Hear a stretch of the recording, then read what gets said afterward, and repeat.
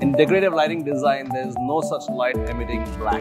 But let me show you what Moss has done to bring black into the game.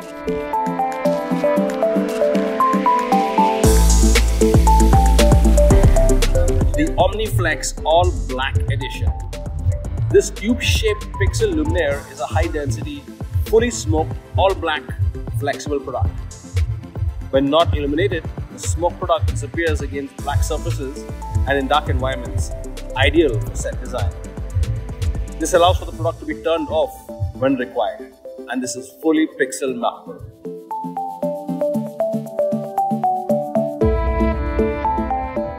And that's OmniFlex by Moss LED, some amazing tech on the technologist.